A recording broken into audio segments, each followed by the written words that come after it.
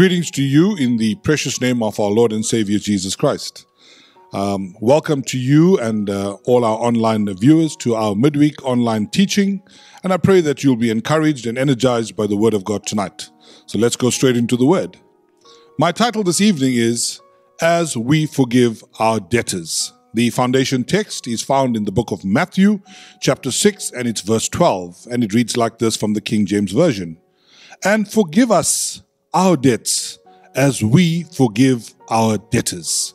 The scripture reading is Matthew chapter 6 and verses 14 and 15. It goes like this And if you forgive those who have sinned against you, your heavenly Father will forgive you.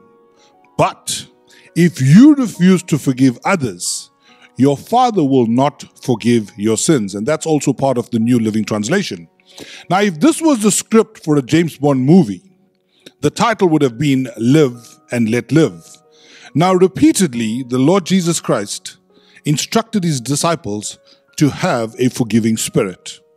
In that day and age, and even after that for many centuries, forgiveness was an unknown virtue. The pagan ideal of that time was to do as much injury and hurt to your enemies as possible. It was literally an eye for an eye. Payback was a demand. Well, if that was the case at that time, it seems not much has changed nowadays. It's literally you tramp my toes and I'll tramp your head, and that's the attitude lots of us have. Now, I, I just want to impress upon you forgiveness is a friendly act on the part of God. It is an action or a deed where God, and I say again, God restores the offender to a state or a condition in which there shall be no obstacle to prevent the offender from enjoying communion with God. Now, very importantly, forgiveness makes peace of mind possible because of the extension of divine mercy.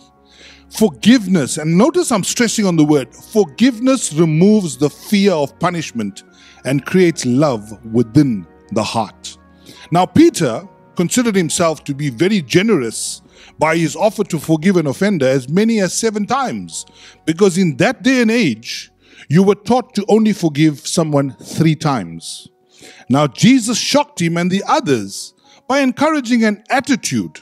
Now, remember, an attitude and not an action of unlimited forgiveness, an attitude. Matthew 18, verse 21 and 22 literally states this means that as a believer, you have to be a forgiver. Now, Jesus focused more on the harmful effects of an unforgiving spirit in the heart of the offended rather than on the tolerant attitude towards the offenders. Now, you may be wondering what is going on here? Why is Jesus focusing on the person who's been offended? That's because the results or the consequences of an unforgiving spirit can cause you many problems. Namely, one, you cannot experience the joy of forgiven sins. You cannot experience the joy of answered prayers. Your unforgiving spirit drives people further away from you. And it's, it's because of your whole behavior and your, your, your persona. You become bitter. And when people see you, they actually choose to stay away from you, even those who love you and are close to you.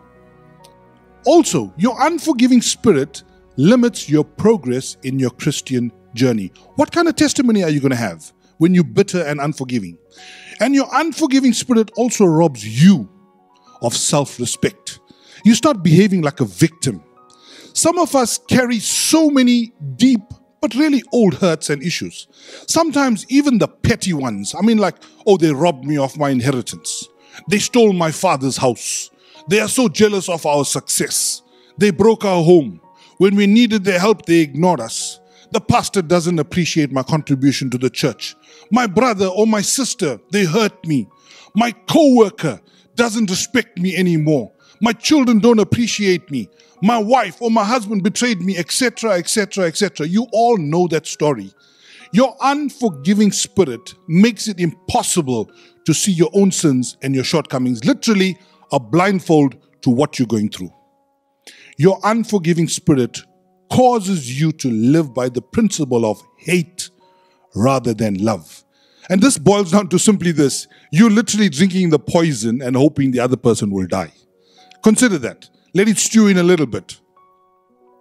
And if you refuse to forgive, then you're placing your present and your future under the curse of the past. I want to say that again. If you refuse to forgive, then you, that's you, you the author, you are placing your present and your future under the curse of the past. I want that to sink in. You are literally cutting your own nose to spite your face.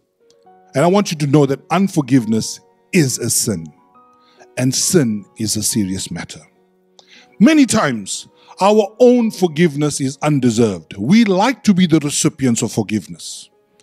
There's a proverb that goes, To err is human, to forgive is divine. So, literally, to forgive is a superhuman reaction. It's not a normal reaction, it is because it comes from God. Forgiveness is the key to unlock the door of three important things your restoration, your receipt of mercy, and your peaceful living. Remember that. We sing the song so casually, but consider the words Behold how good and how pleasant it is when brothers dwell together in unity. What is unity? Unity is peaceful living. How does peaceful living come? Forgiveness, living together. Sometimes we, as the offended, often hurt ourselves more than the offender's original action when we do not release and forgive the perpetrator. The worst part is when your alleged offender doesn't even know that they hurt you or offended you. It's crazy sometimes how we harbor stuff and the other person doesn't even know they're guilty of it. There was a movie, God Forgives, I Don't. Be careful of the mindset of, I forgive you, but I won't forget. We are all guilty of this kind of thinking sometime or the other. Now imagine if God in heaven operated in this way. We were all definitely doomed to go to hell. Now, the flip side the benefits of having a forgiving spirit is as follows you clear yourself of the poison that comes from hatred and resentment. You gain a peace of mind and a good spirit not enjoyed by the unforgiving person. You experience a sense of cleanness, not cleanliness, cleanness and calm. The song goes, Pastor always says, There's a little song I wrote. You might want to sing it note for note, but don't worry, be happy. Okay? Important. When you forgive, you display a beautiful spirit that others will want to imitate. You become a trendsetter, you become a role model. Your sense of forgiveness will definitely create a change of spirit in others. People will want to come to you, people want to talk to you, people want to be with you. And most importantly, your spirit of forgiveness is a healing and creative experience. It restores. The Bible encourages us to forgive others in the following ways.